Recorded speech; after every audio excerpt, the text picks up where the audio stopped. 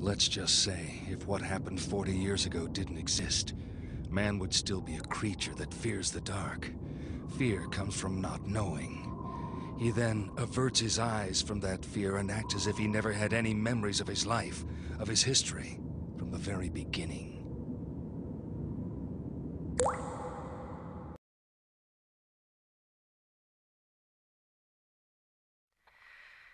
It's true.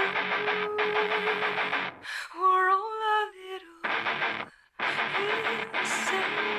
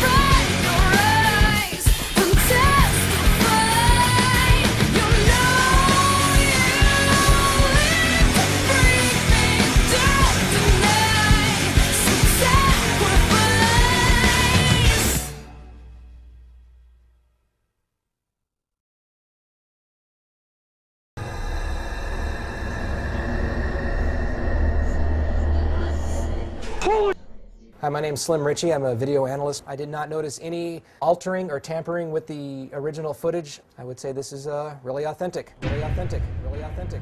Really authentic. It's definitely scary.